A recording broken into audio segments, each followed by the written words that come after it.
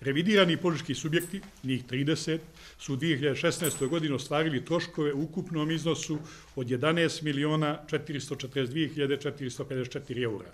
Znači, cirka milioni 300 hiljada eura više nego što su prikupili.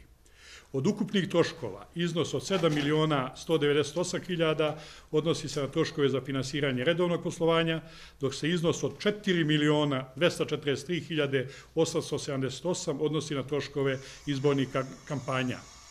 Kao što sam prije rekao, za izborne kampanje je prikupljeno nešto malo više od 2,5 miliona, a potrošeno je preko 4 miliona i 200 hiljada eura.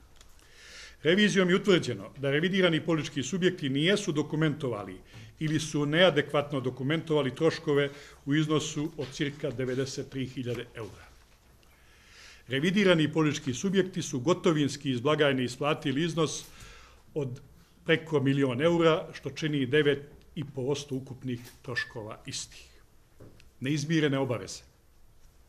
Revidirani politički subjekti su u poslovnim knjigama iskazali neizmirene obaveze sa stanjem na dan 31.12.16. godine u iznosu od 2 miliona 566 hiljada eura.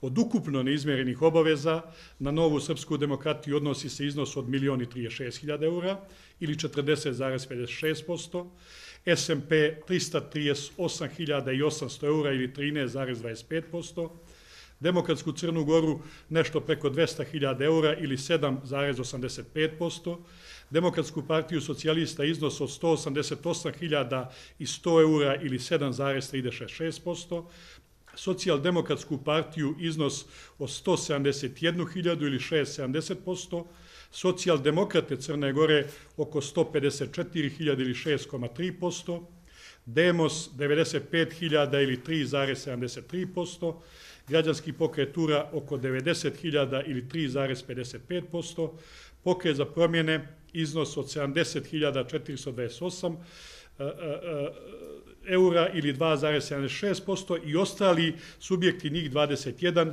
oko 210.000 eura ili 8,21%.